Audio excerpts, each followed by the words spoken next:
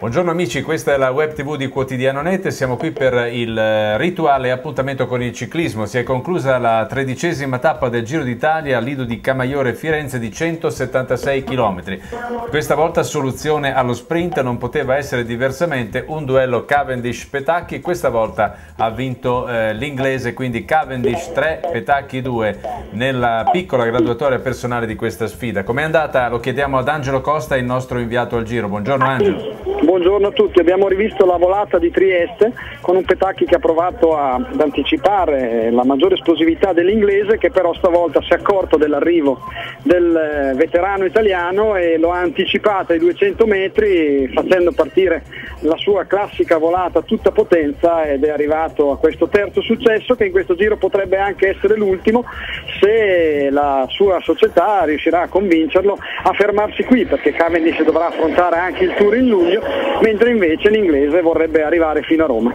Ecco, sentivo nel dopocorsa delle proteste di Petacchi all'indirizzo di Farrar che lo avrebbe ostacolato, dice lui. Ne sai qualcosa, Angelo?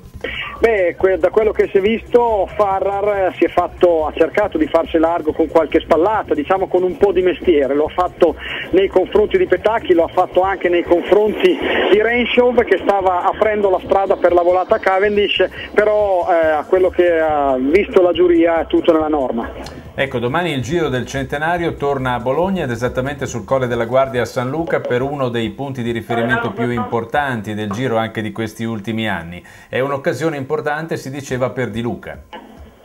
Domani c'è questa, questa, tappa che prima di tutto è molto nervosa nel percorso, un percorso che si presta anche ad azioni da lontano, anche se c'è da prevedere la tattica della squadra di Luca di tenere abbastanza chiusa la corsa per arrivare ai piedi di San Luca con il gruppo eh, ancora compatto e da lì consentire al proprio capitano di cercare una vittoria di tappa importante non tanto per il distacco che si può fare sulla salita di San Luca che è appena due chilometri, quanto per la buona che su questo traguardo ci sarà da aggiungere all'eventuale mm, distacco che si riuscirà a ottenere.